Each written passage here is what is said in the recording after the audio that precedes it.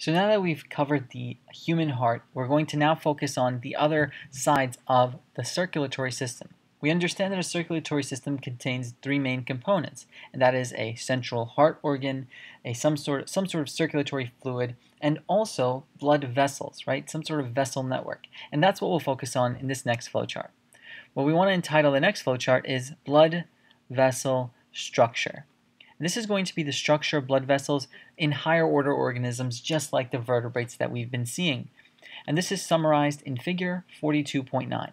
What we need to understand about these blood vessels is that not only do they provide a route for circulatory fluid to move around the body, specifically blood, they're actually going to be structurally uh, designed in a way that it ensures the different functions that we've covered thus far of circulation. So let's take a look.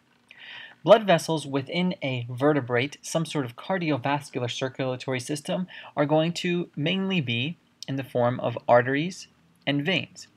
And they have a very similar structure with three layers. So there are going to be three layers to every artery and every vein. The outermost layer is known as the, or, or the innermost layer, will go inner to outer. The innermost layer is known as the endothelium. So we'll write this down as endothelium and subclassify this as the innermost, just to make sure we understand the orientation that we're at. So if we take an artery or we take a vein and we look at this most inside portion of it, we're looking at its endothelium. Therefore, because it's the innermost, the endothelium lines the lumen, that's the opening within the vessel in which blood travels through. And the purpose of the endothelium is to provide a smooth surface. It's a very smooth, smooth structure. And overall, because it has a smooth surface, it's important for the overall success of circulation. In the sense that with a smooth surface, what you're minimizing is resistance. So we'll write that down.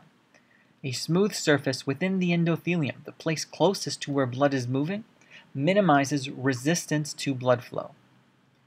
And this is kind of the reason why we want to ensure that the arteries and veins are not being, uh, there's nothing within them that's blocking blood flow. Let's say like fatty buildup or cholesterol buildup.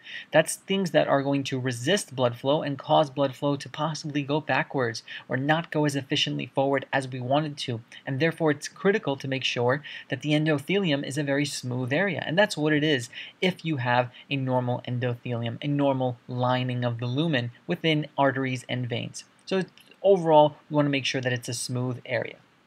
In addition, after the endothelium, the middle layer is known as a smooth muscle layer. So there's going to be some smooth muscle. Again, smooth muscle you cannot control. This is involuntary. You do not control, you never think of, oh, hey, I want my arteries to get bigger or I want my veins to get smaller, etc. This is involuntary control, and the smooth muscle is going to be classified as the middle layer of arteries and veins.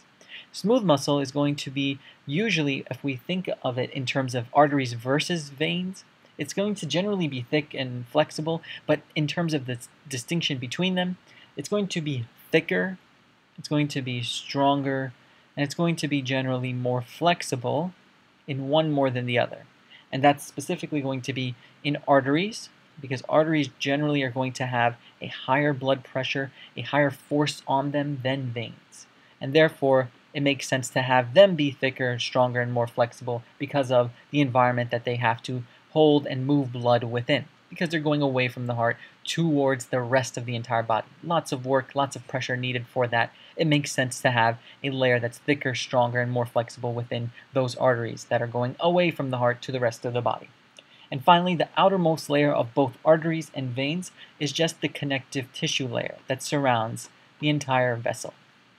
So this is the connective tissue layer. This is the outermost, so we want to make sure we write that down. This is going to serve as an outer coat of sorts on these vessels.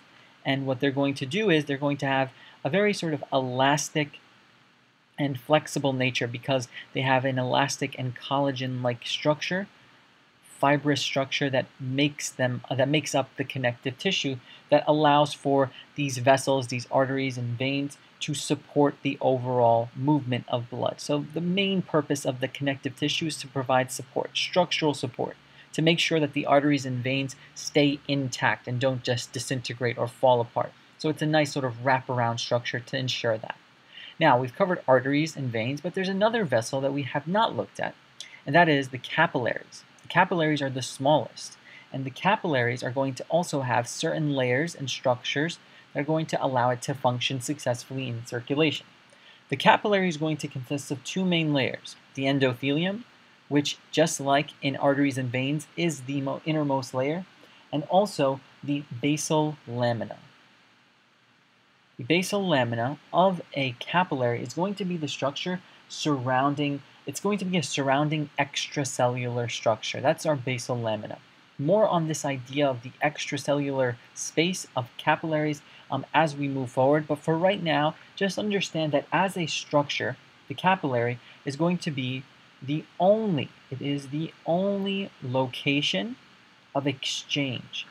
Only location of exchange is the purpose of circulation of blood is to exchange goods between a muscle and the blood and between an organ and the blood, whatever it may be. It's the only location at which we have direct exchange between, now we'll be even more specific than we've ever been in this lecture, between blood and the other point of exchange is going to be ISF, interstitial fluid.